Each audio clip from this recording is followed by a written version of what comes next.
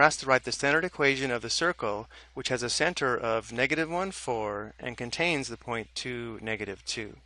The standard equation of a circle is given here, where we have the quantity x minus h squared plus the quantity y minus k squared equals r squared, where the x-coordinate of the center is h, and the y-coordinate of the center is k, and r is equal to the radius of the circle. So because we're given the center of the circle, we know h must equal negative 1 and k must equal positive 4. So let's go ahead and write that down. We know h equals negative 1 and k equals positive 4. We still have to find the value of r squared, where r is the radius of the circle. And since the radius is the distance from the center to any point on the circle, if we find the distance from the center to this point that we know is on the circle, we can determine r and then find r squared for our equation. To get a better understanding of this, here's the circle that we're looking for. Notice how the center is the point negative 1, 4, and the circle contains the point 2, negative 2. So if we find this distance, we'll then know r, so then we can find r squared for our equation. So to find the distance between these two points, we'll use the distance formula given here. Let's go ahead and call this x sub 1, y sub 1, and this point x sub 2, y sub 2.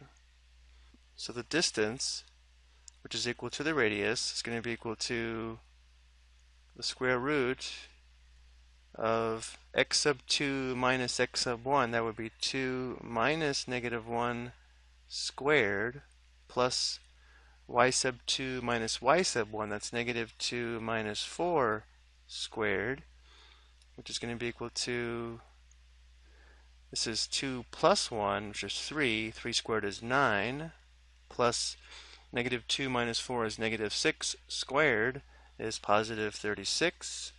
This is equal to the square root of 45. Because we're looking for r squared, we don't need to simplify this, but just in case we are asked to give the radius, let's go ahead and simplify it anyway. The square root of 45 is equal to the square root of 9 times 5.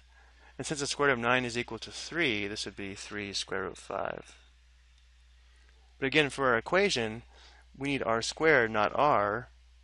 So if we know r is equal to the square root of 45, then if we square both sides of the equation,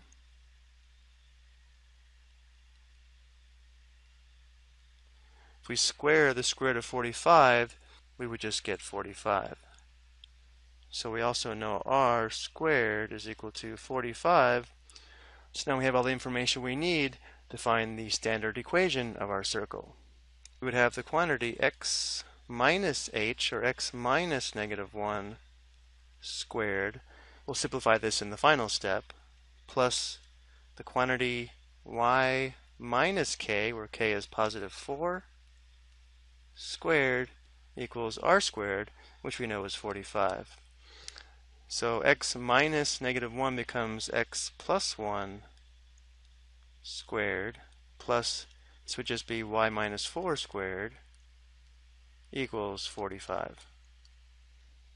This would be the standard equation of the circle that has a center of negative 1, 4 and contains the point 2, negative 2.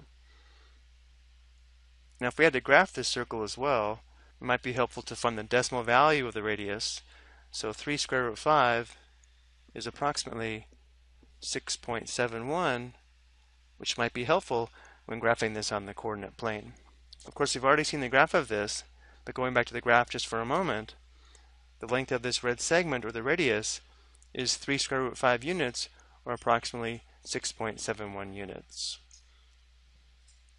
Okay, I hope you found this explanation helpful.